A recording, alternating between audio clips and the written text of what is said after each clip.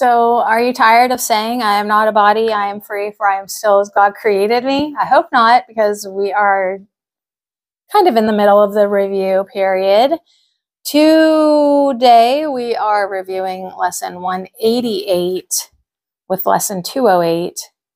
God, I hope so. the peace of God is shining in me now. Yeah, yesterday we blessed the world because we blessed ourselves, and today the peace of God is shining in me now. I will be still and let the earth be still along with me. And in that stillness, we will find the peace of God. It is within my heart, which witnesses to God Himself. I am not a body, I am free, for I am still as God created me. So that's your review today. It's very nice. I will be still. The earth is going to be still along with me. And in that stillness, we find the peace of God. And where do we find it? Within our hearts, which witnesses to God Himself. So that's it. That's all you got to do today. Jesus for lesson 208 said, Yeah, when you say these statements, the peace of God is in my heart. I will be still. The peace of God is in my mind. These A Course in Miracles statements are truth. So you say them as fact and you come to understand them as truth. Now, if you are not at peace, you're like, uh, I don't have the peace of God in my mind. If you're not at peace, you need to ask yourself, what am I doing that blocks my peace? What am I doing that blocks love? Well, it's your fear. Fearing interferes with your peace. So you need to change your mind. You need to change your mind about it, what you are fearing, and you need to change your mind before your beliefs manifest before you. So, whatever you have happening in your life, see where you can find the belief that is manifesting. If it comes at me, it comes from me. Everything comes from within, including your own peace or lack of it. So own your contributions. And if you are not at peace, change your mind about it. I think that is excellent advice. I mean, own your own contributions. Like, I'm doing this either way. If it's good, I am doing it. And if it's not good, I'm doing it. And it does take some bit of eh, stepping back to be like, whoa, I like literally do believe this fearful thing. And then this stuff happens to me or whatever. But just look at, I mean, oh, think about your fears. You don't want to be manifesting that, do you? Do you? Do you? No, you don't. So change your mind about it. If you've all, if you always fear someone's going to betray you, like you're putting that out there. Change your mind about it. Remember, like a, a half a dozen lessons ago or something, um, we did that that practice. Uh, if you have an intrusive thought, you say, "No, I don't want to think about this. Instead, I want to think about, or instead, I will think about." Like you stop that nasty little thought in its tracks because what you think about it again and again and again, your thoughts add up to your beliefs. So you have to change your mind about it. Pathwaysoflight.org. Welcome to the reading, A Course in Miracles Workbook Lesson 208 Insights. Review. I am not a body, I am free, for I am still as God created me. The peace of God is shining in me now. This world was made as a fence to keep God out. One of the chief ego mechanisms to keep awareness of God's presence hidden is to keep us preoccupied with all the forms found in this world of separation.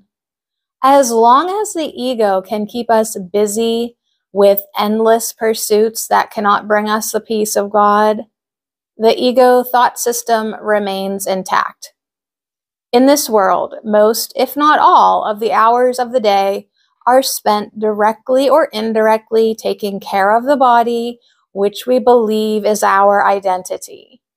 We are either working to earn money to pay for food, clothing, or housing for the body, or we are spending time giving it rest, bathing it, exercising it, preening it, trying to make it acceptable, whatever that means to us. When we are not actively involved in these things, we worry about things that could happen to the body, so we build defenses to protect against what might happen. This image that we have of ourselves is so fragile that it seems it can be damaged by as little as a word or a momentary glance, which can throw us into guilt or fear in an instant all of this keeps our attention on a frantic and frenzied agenda to protect what we think we are. Yet this image has nothing to do with our true reality, with ourself as God created us. This is why we are asked to repeat many times a day for 20 days. I am not a body. I am free for I am still as God created me. This repetition will help us loosen our identification with the false image we have held of ourselves. Each time, we can take a moment to be still, to set aside the frenzy of the world ever so little. We move a step closer to recognizing the peace of God that is shining in us right now. As we can still our minds and feel the peace of God, we feel His safety and His strength. The body does not need our protection. It will reflect the safety we know when we remember the peace of God that is shining in our hearts. We are not asked to give up our identification with the body in one fell swoop, for the seeming sacrifice would be too frightening. We are simply asked to practice, giving our attention to the fact that we are not a body. This practice will gently wean us from thinking we are a body to recognizing that we are, in fact, love's extension, wholly safe in love. While we remain in the dream of this world, we will continue doing things to care for the body, but we will recognize more and more that many of the things we thought would keep us safe or make us feel better really accomplish nothing. And so our life will become simpler and easier. Gradually, more of our time is used for awakening and serving the awakening of others. Our brothers become less and less adversaries and more and more seen as friends and companions, helping us return home. I am grateful to be reminded that the peace of God is shining in me now. The merry-go-round of this world will continue to go round and round until we choose to stop it. On this merry-go-round, it feels like a swirl of activity, but we are really going nowhere. We are going round and round, repeating the past over and over until we decide to step off and give our mind a rest from the ego thought system. Once we step off, there is quiet. There is stillness. We can experience the peace of God. We can hear the Holy Spirit and be aware of its returning us to the truth. The doorway through which we return home is through quieting our minds.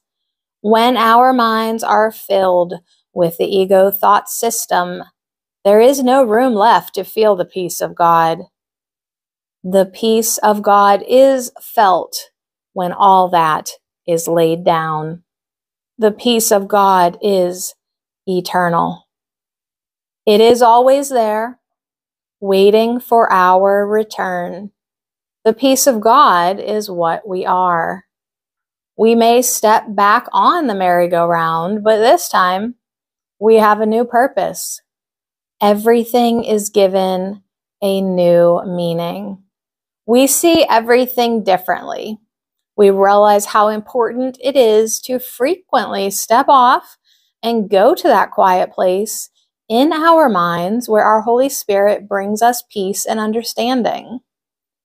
Our gratitude overflows as we learn to let go of fear thoughts and return to the love we are. We remember we are not a body, we are free. Nothing has changed. We are eternally extensions of love and nothing else just love eternally. In truth, we do live happily ever after as one, as love. Pathwaysoflight.org. All right, then. Sounds good to me. Let's remember who we truly are eternally. I am not a body, I am free, for I am still as God created me. So, yeah, this is a 20 day review. We are going to do some changing of the mind right now. The peace of God is shining in me now. I will be still and let the earth be still along with me. And in that stillness, we find the peace of God. It is within my heart, which witnesses to God Himself. So that's what we're doing again and again and again. I am not a body. I am free, for I am still as God created me. So I hope you're enjoying the review. I mean, what else is there really to do?